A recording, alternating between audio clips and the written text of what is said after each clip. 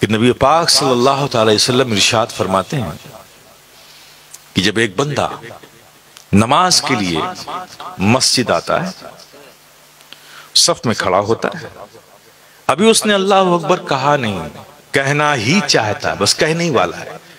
अल्लाह एक फरिश्ते को हुक्म देता है, फरिश्ते जाओ, ये मेरा बंदा मेरी बारगाह में हाजिर हो रहा है, मेरी इबादत के लिए। इसके अख्तियार में जो कुछ था, इसने उसका अहतमाम कर लिया। मेरी हाजिरी, मेरी बारगाह में हाजिरी का जो अहतमाम था, जो इसके अख्तियार में थे, कर लिया। कपड़े पाक रखे, जिस्म पाक रखा और वज़ू करके अपने आप को नमाज़ के लायक भी बना लिया। ये इसके अख्तियार की चीज़ थी। तो जाहिरी एतबार से जो कुछ ये कर सकता था, इसने कर लिया। लेकिन मुझ पाक की बारगाह में हाजिर हो रहा है? तो ये बातिन को नजासतों से पाक करने का तो इसको कोई इख्तियार नहीं, कोई कुदरत नहीं है। तो मैं चाहता हूँ कि मेरा बंदा ज़ाहिर और बातिन दोनों लिहाज से पाक होकर मेरी बारगाह में हाजिर हो। तो फरिश्ते को हुक्म देता जाओ, इसके अंदर बातिन में जो गुनाहों की नजासतें हैं, सब इसके अंदर से निकाल कर अलग कर दो। ज़ाहिर को तो खुद इसने पाक कर रखा था और बातिन को जाकर तुम पाक कर दो, ताकि मुझ पाक की बारगाह में मुकम्मल पाक होकर ये हाजिर हो जाए। फरिश्ता रब के हुक्म से आता है। अभी उस बंदे ने अल्लाह अकबर कहा नहीं था कि फ़ौरन ही उसकी सारी गलाजतों को, नजासतों को, उसके अंदर से गुनाह की नजासतों को निकाल लेता है और एक गठरी बाँध के रख देता है। वो बंदा नमाज़ से फारिग हुआ। नमाज़ से फारिग हुआ तो फरिश्ता रब की हुजूर कहता है कि, मौला तेरे हुक्म से मैंने इसके गुनाह की निजासतों को इससे अलग किया था। अब ये नमाज़ पढ़ चुका। अब इसके गुनाहों का क्या करूँ? ये जो गुनाह इससे निकाले थे, इसका क्या करूँ? तो रहमत इलाहिया मुस्कुरा उठती है। और कहती है, अरे फरिश्तो, जब अलग कर लिया है तो अलग ही रहने दो। अलग कर लिया है, अलग ही रहने दो। बोलो मेरे प्यारे, इसकी ज़रूरत है कि नहीं तुम्हें? कितनी ज़रूरत है? कैसी मिस कर रहे हो तुम यार? कितनी बड़ी नेमत है फजर में पढ़ लिया, गए गुना। बैलेंस में कोई गुना नहीं। अब फजर और जहर के बीच में कुछ खता हो गई। ज़ाहिर है कि इंसान तो खता और उसका भूल का मरकब है निशान तो हो ही जाता है। हो गई, जोहर पड़ी, फिर बैलेंस में कुछ नहीं।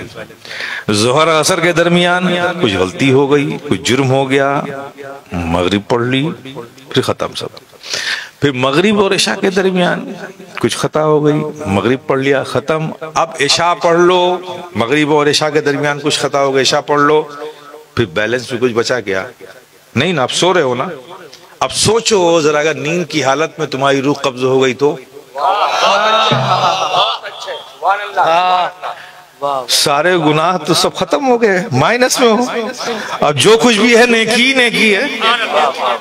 और अल्लाह का वादा है अपने महबूब से कि राई के दाने के बराबर भी अगर नेकी होगी तो महबूब जाओ उसे निकाल कर जन्नत में पहुँचा दो। कितनी इंपॉर्टेंट चीज़ मेरे प्यारे तुम मिस कर रहे हो। कर लो इससे मोहब्बत। एक बार करके देखो यार। ये जितना बाबा बाबी के पीछे भागते हो यार। सही है। मैं बता रहा हूँ आपसे। बहुत अच्छे हैं खुदा के घर में आ जाओ यार। वाह वाह। फिर देखो। मैं कहता हूँ हर नौजवान से कहता हूँ हर बुज़ुर्ग से कहता हूँ ये एक ऐसी चीज़ है कि इससे मोहब्बत कर लो यार। नमाज़ से मोहब्बत कर लो। तीस दिन। वो चालीस दिन का चिल्ला करवाते हैं ना। मैं तीस दिन कहता हूँ आपसे। सिर्फ़ तीस दिन इससे मोहब्बत कर लो। अब बिल्कुल मुकम्मल इरादा। कि कुछ भी हो जाए, नमाज़ नहीं छोड़ेंगे। ट्रेन छूटती है, छूट जाए, बस छूटती है, छूट जाए। अरे मियाँ, नौकरी छूटती है, छूट जाए यार। हमारा रब रज्जाक रब है रज्जाक हमारा। दुनिया थोड़ी रिस्क देती है, हमारा रब हमें रिस्क देता है। हम मोमिन हैं, जिनको पता नहीं कि रिस्क कौन देता, वो भटके दुनिया में, हमें पता है कि हमारा रब देता है। कुछ छूट जाए छूट जाए, नमाज़ नहीं छोड़ेंगे। एक महीना ऐसी ज़िंदगी गुजार के देखो, देख लेना, फिर नमाज़ तुम्हें नहीं छोड़ेगी। ऐशा पढ़ के नहीं सोगे रात भर बेचैन होगे जब तक पढ़ नहीं लोगे, गहरी नींद नहीं आएगी। मेरे प्यारे आज भी जंग के मैदान गवाही देंगे। इससे बढ़कर नहीं तलवार नमाजी बन जा। किसमें हिम्मत है जो देखे तेरी मस्जिद की तरफ़? किसमें हिम्मत है जो देखे तेरी मस्जिद की तरफ़? शर्त इतनी है मेरे यार नमाजी बन जा।